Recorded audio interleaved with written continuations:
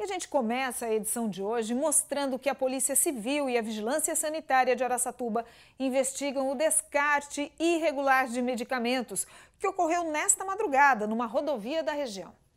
Os remédios mal couberam em três sacos de lixo de 100 litros.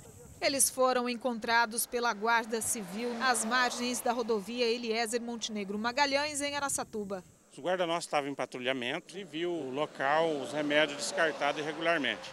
Comunicou a gente, a gente veio imediatamente para o local. De acordo com a polícia, os medicamentos foram descartados durante a madrugada desta segunda-feira. A maioria dos remédios eram vitaminas infantis, antibióticos e repositores de flora. Alguns ainda estavam dentro da validade. A vigilância sanitária recolheu o material o trabalho agora é tentar identificar pelos lotes a procedência dos medicamentos. A maioria é amostra grátis, né? encontramos alguns que é de é, medicamento controlado e a gente anotou o lote para posteriormente tentar identificar. Do tempo que eu estou na vigilância é a segunda vez que acontece, né? bem inédito, mas é totalmente irresponsável. O perigo desse descarte é a contaminação do manancial, já que a água abastece criações de animais na região.